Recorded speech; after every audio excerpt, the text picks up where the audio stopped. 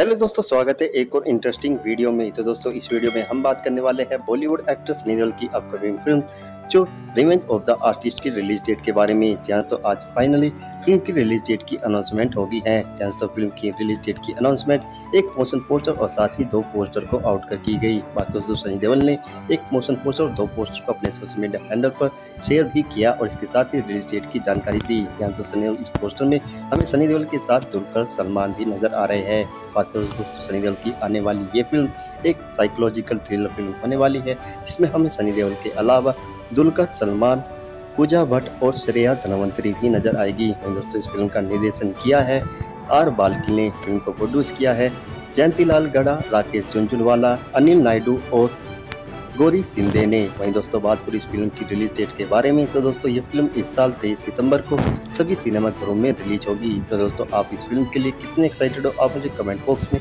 Comment कर अपनी राय ज़रूर बताएँ। तो दोस्तों, आज की वीडियो में बस इतना ही। उम्मीद है आपको वीडियो पसंद आई होगी। ऐसी ही लेटेस्ट अपडेट के लिए प्लीज़ चैनल को सब्सक्राइब कर बेल आइकन पर क्लिक करें और वीडियो को लाइक और शेयर ज़रूर करना। मिलता हूँ नेक्स्ट किसी ऐसी ही वीडियो में।